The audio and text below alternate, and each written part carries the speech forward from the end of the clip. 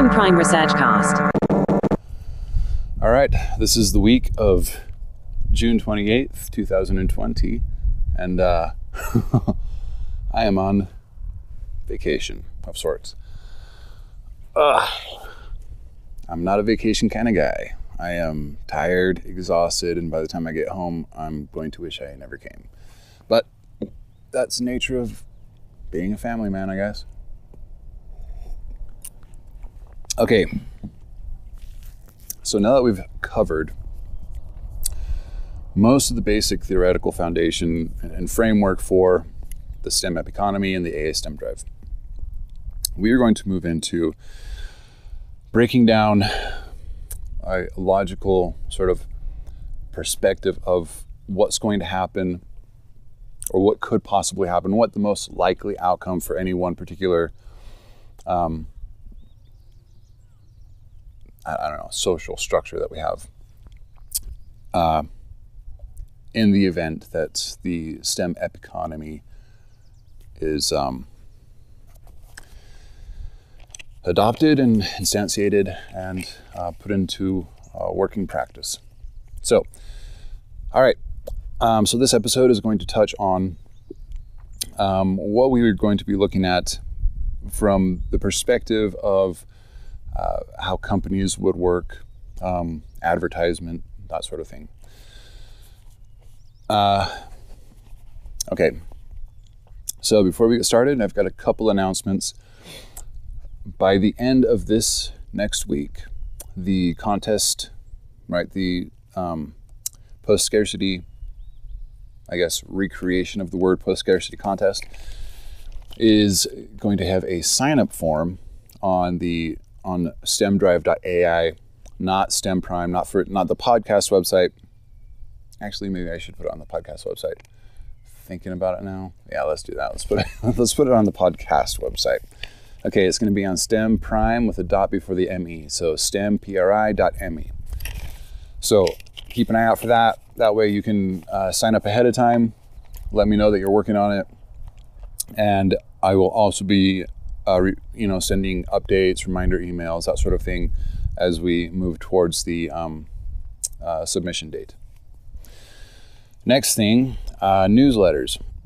I'm going to be starting a newsletter campaign for those of you that are interested. Uh, if you want to be reminded when an episode comes out, um, uh, when a new set of um, edibles comes out, or when uh,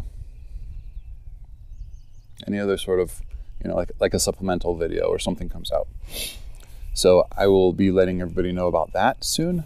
Uh, that will probably also be finished by the end of this week, as along with the store so stickers, hoodies, um, cool stuff you can buy to to help um, support support this effort. Okay. Now the next announcement. This is more along the lines of of the project here, but um, I've been talking to a couple of different people, and they've been helping me out with uh, formalizing um, formalizing the study, trying to get this you know, wrapped up in the most professional, acceptable manner. And this is what uh, this is what we're doing so far. We are no longer looking at just one single study. We are now looking at uh, two prerequisite studies. So we we're going to have. Um, okay, if you if you recall, the original concept was the Terra Prime and STEM Prime uh, simulation studies, right?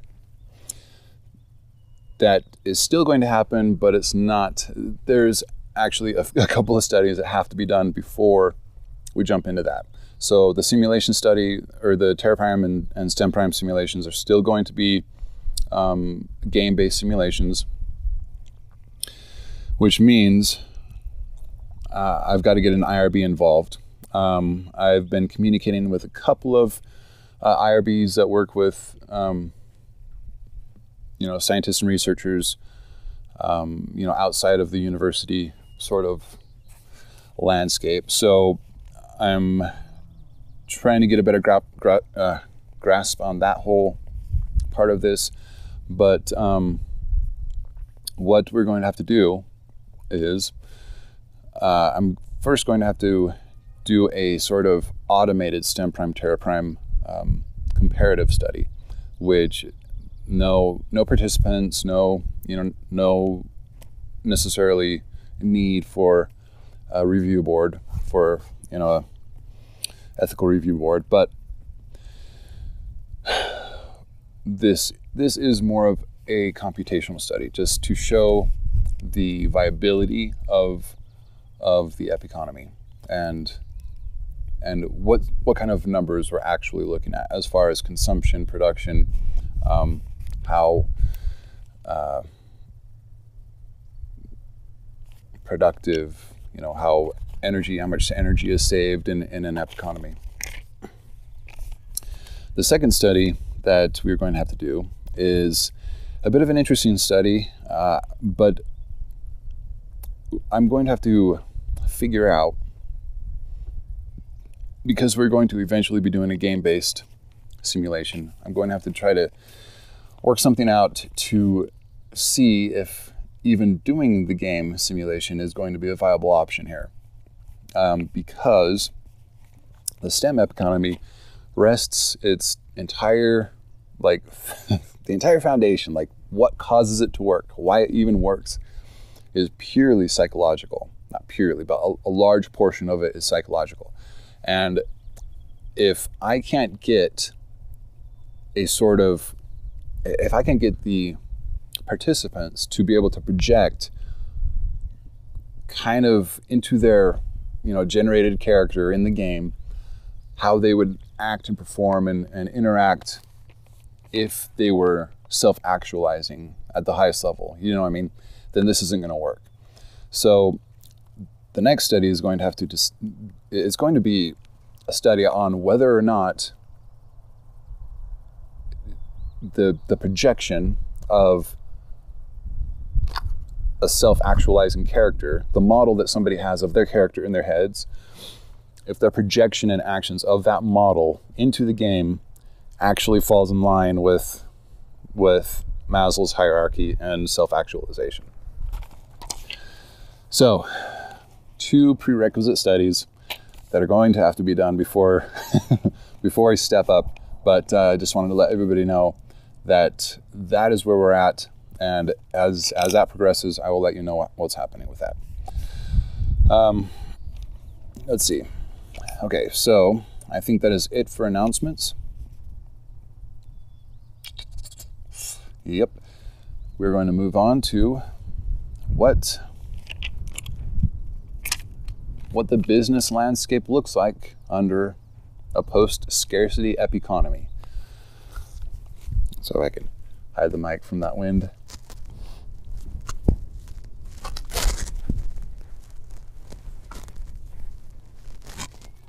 Is that protecting the mic? okay, now as you begin to kind of break down what what society would look like under under a STEM STEM economy. As you begin to follow, you know, follow through, looking at every different aspect of, of our lives and how it would be affected if everybody's needs were being taken care of and if the majority of people were self-actualizing. Um, quick side note, simply because the structure of the society is built to to encourage self-actualization across the board. Um, does not necessarily mean everybody is going to be self-actualizing. Now, I, I I'm, I'm not sure what neurologically that says about you know certain outliers. For instance, Get up and walk around for five minutes. Ah, my reminder to get up and walk around for five minutes is Get up and walk around for letting me know minutes. what's up. Okay. Okay, so neurologically, we know that there are outliers in several different vectors of, of psychology. And often um, it breaks down to a, some sort of neurological abnormality or a, you know, something's not working correctly, whatever, whatever the case is, whether it's structural or, I guess, I don't know, wetware related. But um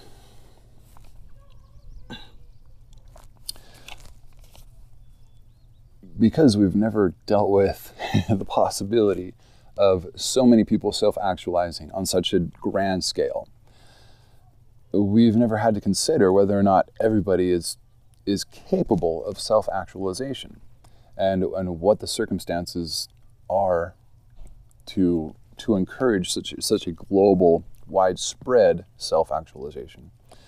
Uh, now, I, I've started to kind of use a term social auto-actualization, meaning sort of the anomalous kind of un, unforeseen phenomena that would occur if everybody in a society was self-actualizing or if the majority was. So social auto-actualization is the idea that it's basically what what the STEM economy does, right? You introduce different motivational foci, you introduce different psychological structures or psychologically active, you know, external structures to get people motivated to want to want to self-actualize. But what is okay, so so that because because it turns into the cycle, right? Because once people are self-actualizing, their desire is to turn around and give back to society. And once people are giving back to society and and other people are actualizing, then you have this sort of cycle, right? You have this feedback loop where people are actualizing, giving back, actualizing, giving back. All right. So my, my term for that that I've been using is social self, or I'm sorry, so, ah, social auto actualization. okay. Now, recently I've been wondering what exactly the the anomalous effects would be. What exactly are the sort of side effects that I have not considered in in this sort of situation? And I can't guarantee that all of them would be good. So, um, so that is something that I need to consider and think about. However, going back to um, because we are now kind of jumping into the business side of, of what this landscape would look like. What I think the natural progression would look like doesn't mean that this is what would happen. This is what I have sort of concocted, okay? But it's an educated assumption, it's an educated guess as to what what we would what we would see here. The first thing you consider is how every business, how business would just shift completely. And not only the structure inside the business, but how intra-business relationships work, how businesses interact with their market, um, what exactly a market would be under under a STEM economy, and how this would all kind of play out. Because one, everybody's being taken care of. All right. Two, everybody has everything that they need. So everybody is is, is self-actualizing. So you're not you're not dealing with, you know, you're not dealing with marketing to people that don't have self-esteem, which a lot of a lot of advertisement is focused on. You're you're pointing out that hey, you need our product so you can feel better about yourself. And so under an economy, you're dealing with a completely different uh, audience. You're dealing with people that are actualizing. You're dealing with people that know who they are on the most fundamental, you know, psychologically stable sort of level here. So so we're not we're not dealing with your traditional social structure. My mouth is so dry I can barely talk right now. Okay. So moving on, because that is the landscape landscape we're talking about, we have a few obvious, you know, side effects here. One of them is that advertisement sort of isn't going to be what it used to be. And that means that marketing, like the marketing and advertisement whole sector, you know, the, the entire branch of marketing and advertisement sort of is reduced to more of a I'm not sure exactly how this would reduce.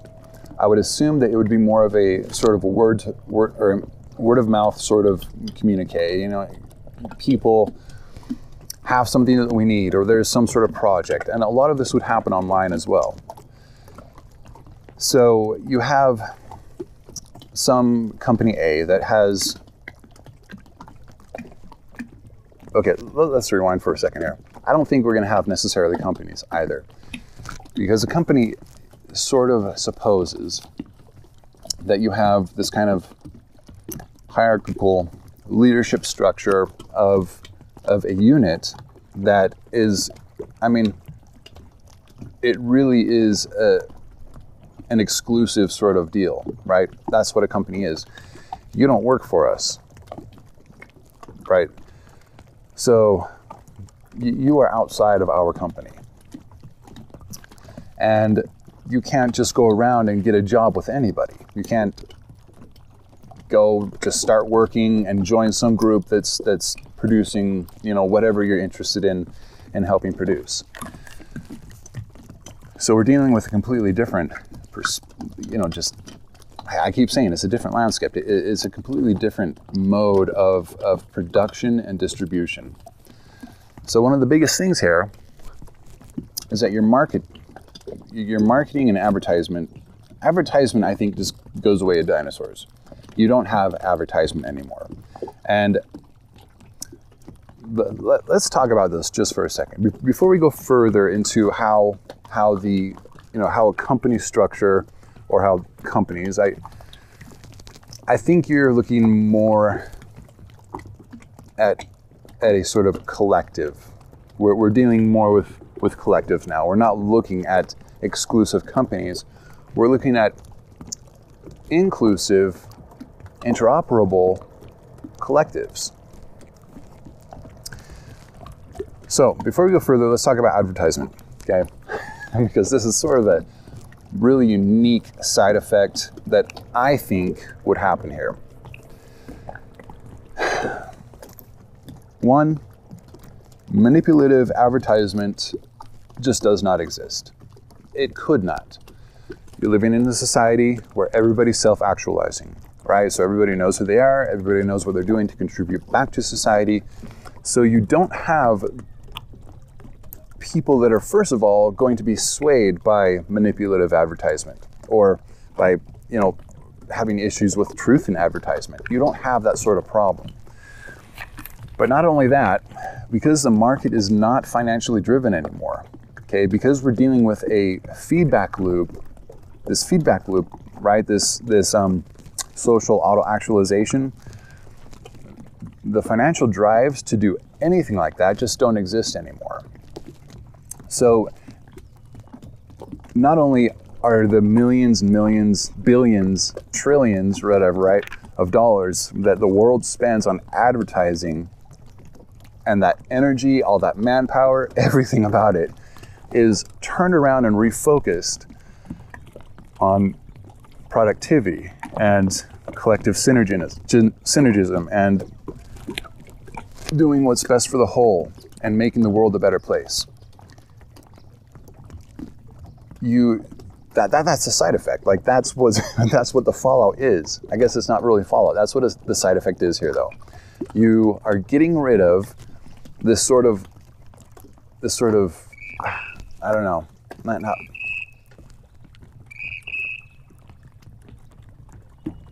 I have no idea what kind of bird that is. It looks like a duck, but I'm like a thousand percent sure that ducks do not make that sound. anyway,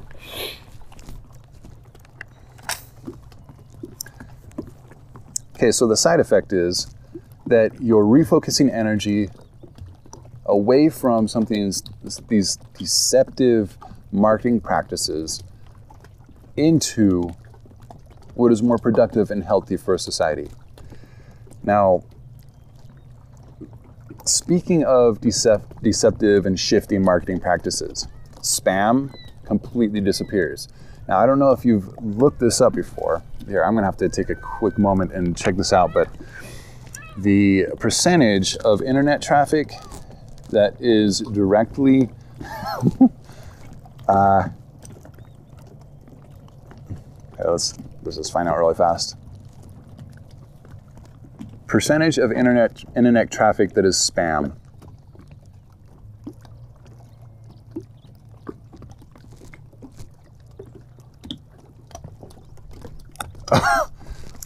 this is the report. 90% of all email 4% of all internet traffic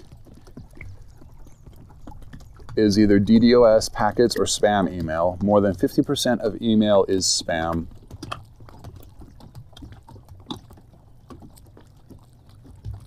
Uh, is not making sense. It just said 90%.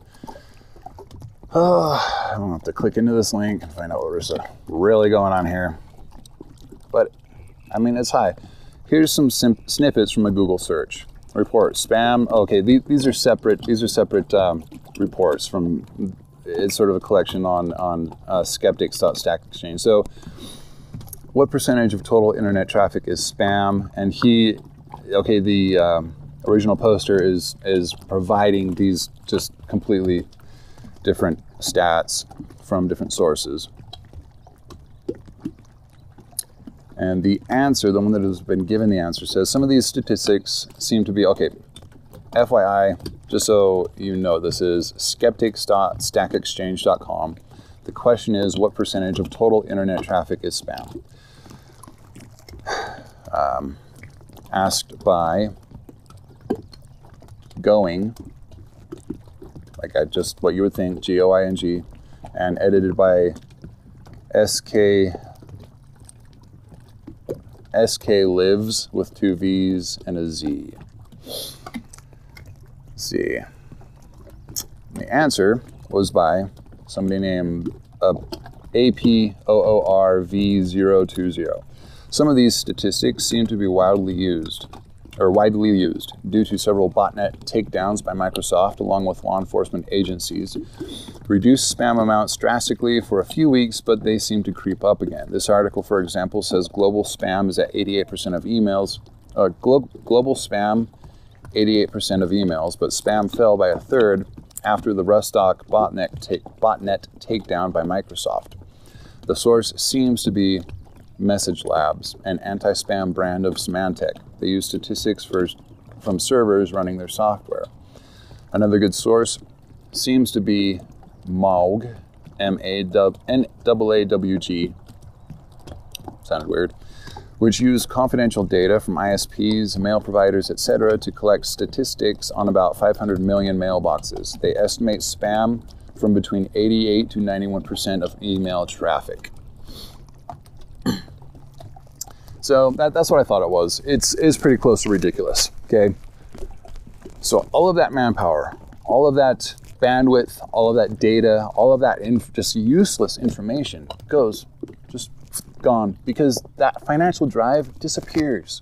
Think of how much energy and manpower and like mental work and just deceptive practices go into producing this bullshit under a STEM economy, spam would not exist, at least not the way that we have it now. And if it does, it would be probably more, you know, politically motivated, and it would be such a minuscule, small amount that it would not even be a bother. We were wasting so much energy and time on this shit. We have entire facilities dedicated to spam detection if you think, okay, so let's let's rewind just for a minute. Okay, we're already taking about simply by converting to a currency-free economic system, or right, the STEM economy.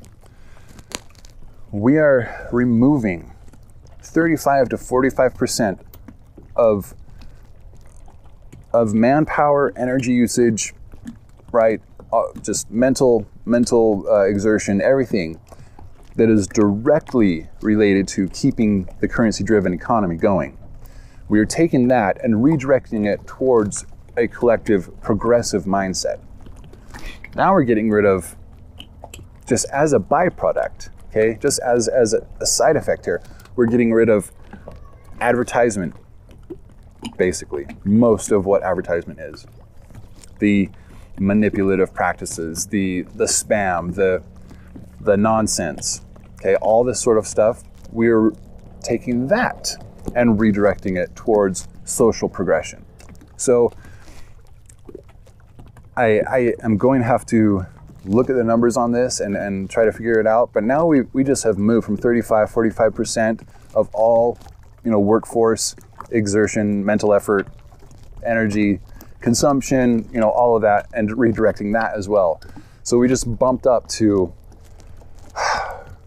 without sticking my foot in my mouth, we're going at least over 50% of all, like just general human effort is being totally redirected to progression, production, scientific advancements, helping each other, making the world a better place.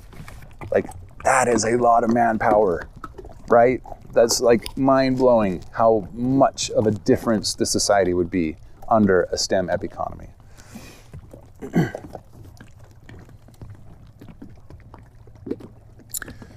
Ah, also along along the uh, same lines of spam, robocalls, cold calling, all that goes away.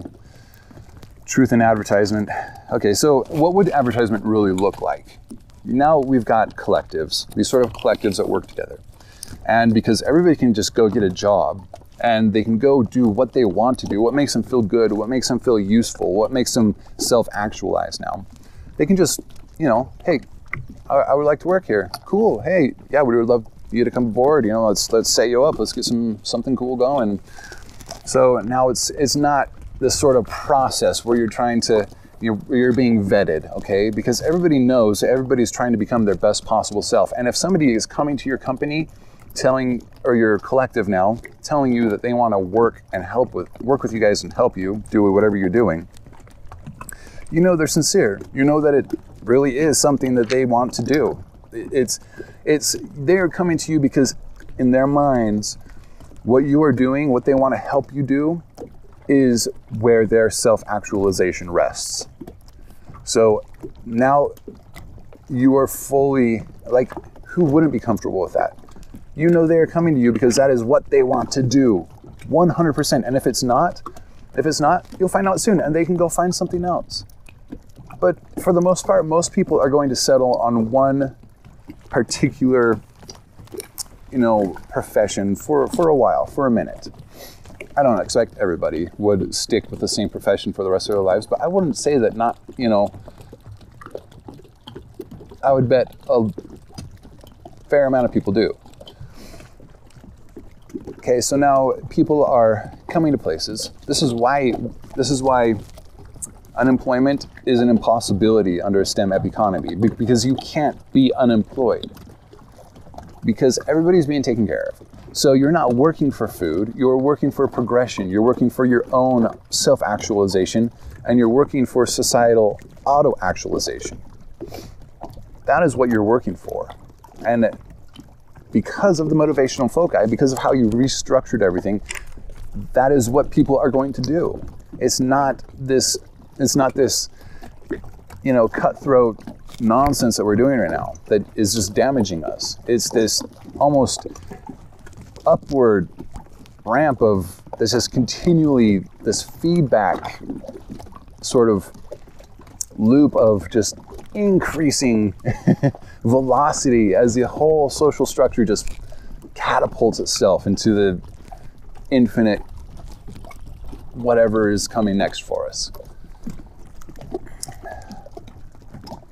So, um,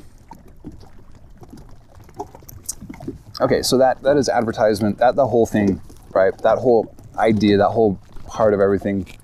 That's that's a big thing, right? That's and if that is not a logical breakdown, email me, let me know.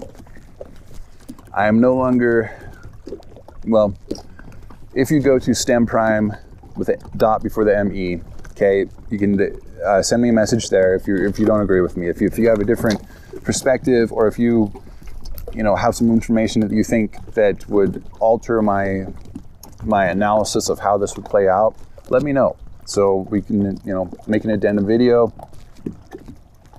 and re- and uh, make a follow up video with that with that information. But this seems like a fairly logical breakdown of the situation. Because if you don't have financial drives, most of all of the rest of these sectors of industry that we were just wasting our time on disappear. And all that wasted energy and silly nonsense that people are working on hard every day, those efforts are being redirected to progress. And if that is not a logical you know, if I'm missing something here, let me know. But that seems extremely logical to me. It seems like almost a, you know, yeah, if you pull that block out, the thing's going to crumble. It's just, that is the, what happens when you do any one particular action. You know, if you set a, put a plank, you know, over a little ball, set something on one end of the plank and jump on the other end, that cup or whatever you set on the other side is going to catapult up. It's just, you know, cause and effect. It's it's a logical breakdown of, of how things would play out. Um, but again, we are mysterious creatures and we do a lot of crazy things, and there's a lot of stuff we do that doesn't make sense, and a lot of that is uh, kind of kind of concealed in psychology and sociology. So uh, if there's if there's some phenomena that you're aware of that I you don't think I'm I'm taking into account here, just shoot me an email. We'll, we'll get this figured out. Okay, now as far as the company goes, now remember we've got the STEM, we've got the STEM drive. Okay, we've got the network of of STEM um, STEM. Uh, I'm sorry, we've got the AI STEM drive, right? We've got this multi-tier, multi-stream uh, network of distributed artificial learning agents that are there to, one, to help us save energy and to do things in the most productive method possible. Um, save material, save space, save time. Okay, that's what it's. That's what function A is of the STEM drive and the STEM network. Function B is to is to set in place those social motivational foci that get people get people to, you know, want to self-actualize. So we're handling, or okay, sort of one of the sub sub, I guess. Um, what's the word I'm looking for? Secondary, second level responsibilities underneath getting people to self actualize is providing for their basic needs, right? So that's why I guess the entire system really the main main goal is to get people to self actualize. And underneath that, providing for people's needs, okay, in order to provide for everybody's needs, we have to minimize waste. We have to maximize um, what we get out of our energy uses and, and what we get out of our material, t- temporal, and spatial use. So, and which again is why we need AI to do this. You, you could not, I, I don't care how brilliant of a software engineer you are or I am, you absolutely could not write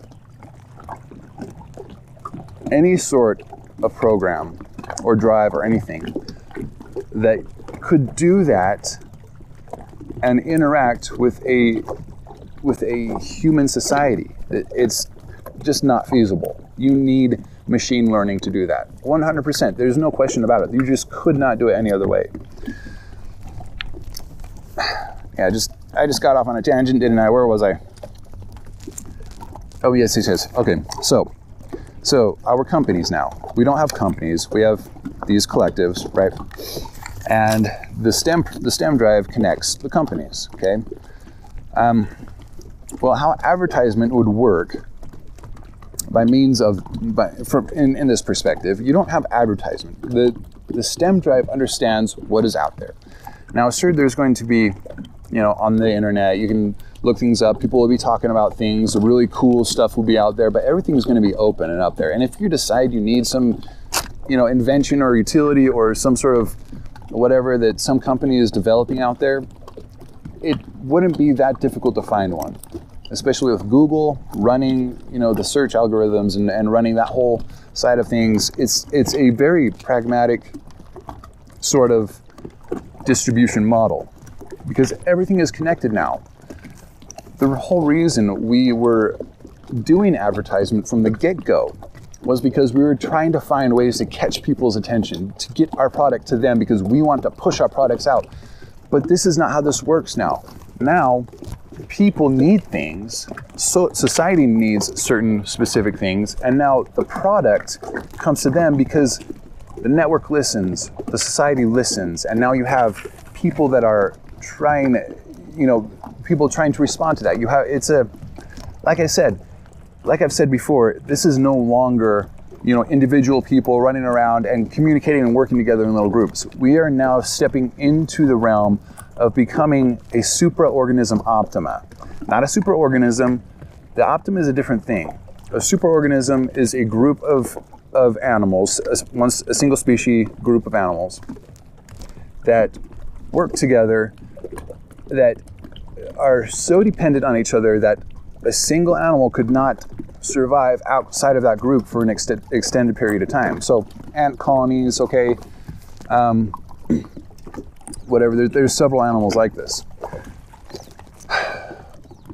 But humans can survive outside of the the social group for extended periods of time. Sometimes their entire life. They can, you know, just decide to dip out, go live in the mountains for the rest of their lives, and and and we can do that.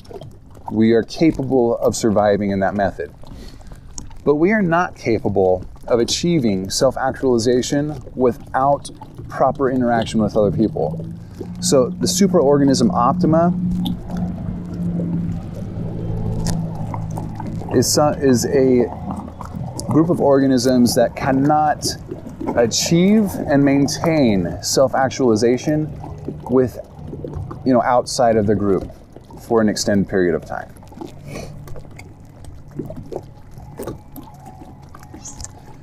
Unless you're Buddhist, but that's special training, unique, and, and they still rely on each other.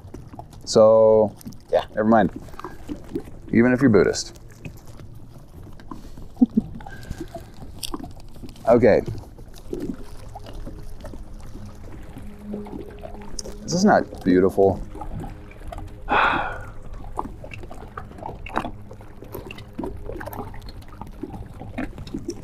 yeah, I'm not I'm not a fan of vacations. I feel like I sort of got uh, guilt tripped into coming here. And the reason is, I don't know. I I just always go home feeling much more exhausted and annoyed and frustrated than had I just stayed home and worked. I've been working the entire time I'm here because I need to get work done. and it's like, I don't know. I'm glad everybody else is having fun, but this is just not my scene, dude. And we're in the middle of a pandemic. COVID is on a spike, like it's on on the rebound. You know, it's coming back with a fury. And I just don't feel comfortable. You know, I brought my masks. I brought hand sanitizer up the wazoo. I am not comfortable with being in the same house. I don't care if they're people that I love and and relatives and shit, dude. It's I feel very uncomfortable because I don't know how they're living. I don't know what they're interacting with. You know, I know everybody's trying their best to be safe, but that doesn't, it obviously is not stopping COVID from doing what it is doing. So, that's my rant there on that. Okay, so advertisement now turns into sort of this networked thing. We still have social media. So we still have, you know, the best products are are getting out there, best ideas are getting out there. People get out there and propose ideas and systems. You know, it would just be a different thing. There, there's not going to be manipulation. Somebody comes up with an idea and a development and a product because they want to make the world a better place, because they want to make life better for everybody. So that particular, you know, I guess stream of, of interaction and communication is a completely different aspect of of getting the word out or a, a mode of getting the word out. So I, I can't tell you exactly how this would work, but we're humans, we figure shit out, right? It would be different and and the change after, after installing, instantiating, and, and getting getting a STEM network up and running. It would take some time for people to kind of maneuver through this, but you know, there would be heads on it. There would be people to understand so, so, uh, social structures and how people interact. So I don't think advertisement, as far as how it's going to end up being, how I think it, because of how the system is laid out, because people are going to be self-actualizing, because we have the social auto-actualization and, and you know that cycle just happening, we no longer have to worry about things happening that aren't good for us because everybody is going to try to do what is best for us. And in when that comes to advertisement or how to get people, you know, how to get the information out there and get people to know that this now exists, come get one. We're making one for everybody or whoever wants one. We're, we're going to figure it out and we're going to figure out the best possible way to do it. And spam is no longer going to be a thing anymore. Like cold cold calls don't are just not going to exist. How fucking cool is that? you can't tell me you're getting not not at least scratching your chin and thinking, yeah, I don't think it's possible, but that would be cool, right? Even if you think I'm full of shit, even if you think I'm blowing smoke up your ass, I know for a fact that you are seeing this in your mind and thinking that that would actually be pretty cool, right? So even if I'm blowing smoke up my own ass. That's why I'm doing this, to find out if I'm just being stupid or if there is some legitimate foundation here. So far, all the sciences uphold it. So I'm I'm I'm doing my part, right? I'm doing the what I need to do to to figure out whether or not this is a viable a viable option for us. Um, okay, uh, now, as I said in, I believe it was episode, the first episode, man, that was a while ago, when I was talking about actual methods of distribution, how we have the uh, module, modular transport uh, system. Again, because because companies no longer have this need to keep information from other companies or from from the world at large. We don't. There's not this financial drive to keep your secrets to yourself so you can make the most money off of it. Because that is no longer a problem, we now have a much more open, right?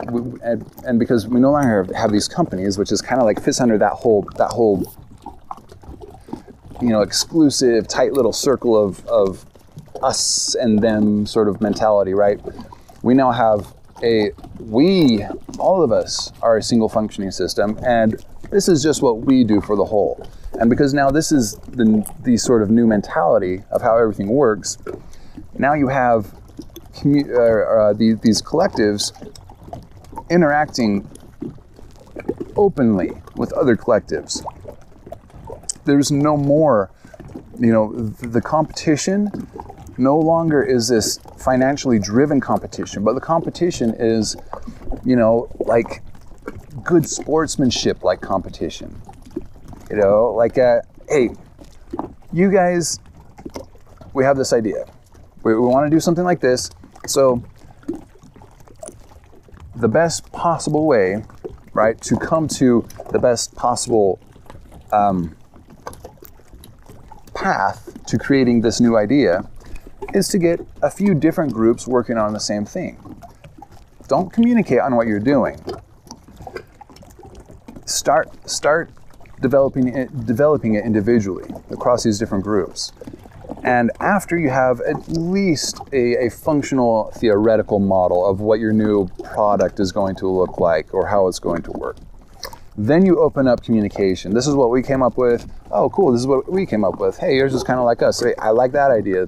And so you take the be- best parts from each idea and then you create the one thing. And now all, all these groups, right, come to an agreement of what the best possible, you know, breakdown and, and methodology for develop, developing whatever new product this is. And each one now produces it and you can have variations, right? They'll do the they'll do the whatever model with the whatever style to it, and they'll do whatever this, whatever that. But you have you originally had this this friendly sort of good sportsmanship like uh, um, competition, and because you had that, now you have the best possible model that you guys could have come up with under whatever circumstances.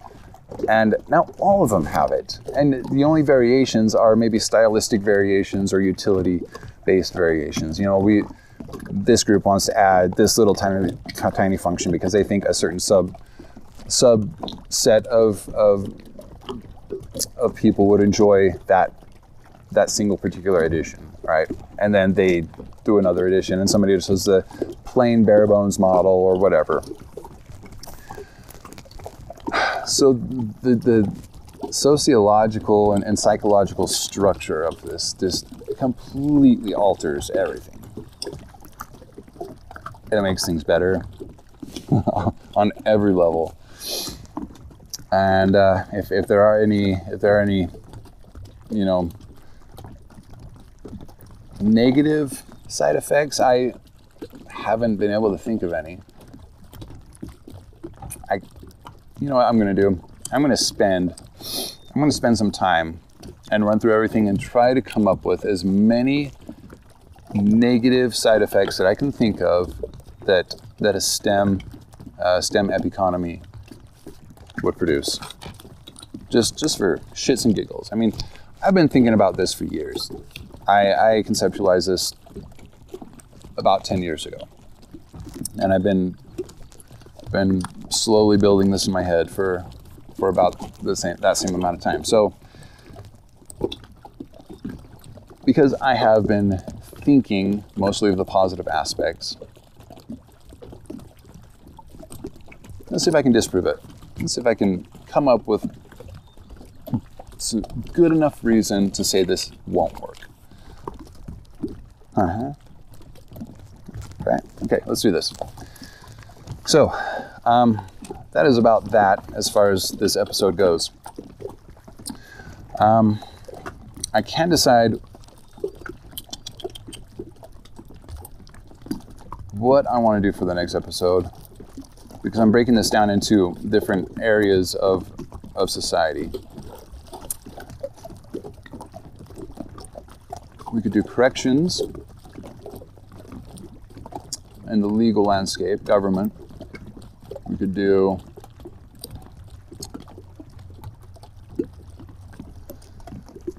let's do let's branch off from this. Let's do let's do distribution. Let's do distribution. Well, you know, I'm not going to settle on anything right now. I still have a lot of work to do, but okay, that's that's this for this one. And again, everybody be safe out there. It is it is crazy. We are in the middle of a spike because people are not paying attention to uh, just to what's going on out there. Uh, it's it, it's scary. I I am shocked at how many people we went to Yellowstone yesterday, and of course we all had our masks, but I was just blown away at how many people were just talking to strangers face to face, no masks, no hand sanitizer, nothing. Like, it's like nobody cares that we're in the middle of a pandemic. Not just that, we're in the middle of a pandemic that is on its second wave. It's coming back and it's spiking again. Because nobody's paying attention to it and it, nobody cares. It seems like it's so just, ah, I don't understand what's happening in people's minds.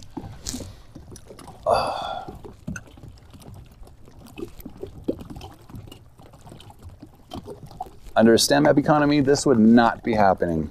Just saying. If you've been following every, all the episodes, you know, what was it, three, episode three or four, where I talked specifically about how, how we would handle, you know, a pandemic under a STEM economic, economic system. All right. Well, everybody be safe. Take care. And uh, we will see you next time. Uh, I don't know what I'm going to do next time. I, I, have a whole list of different uh, different social aspects that that uh, the STEM the STEM drive and the economy would would affect and how it would affect it. But I'm gonna have to decide which one I want to do next time. But we'll see. Okay, guys, take care. Be safe and don't catch COVID keep your hand sanitizer in your belt and don't let anybody melt your mask. So frustrating. Freaking vacation. My mask would not be melted if we were not on vacation. Okay, and rant. Take care. Bye bye.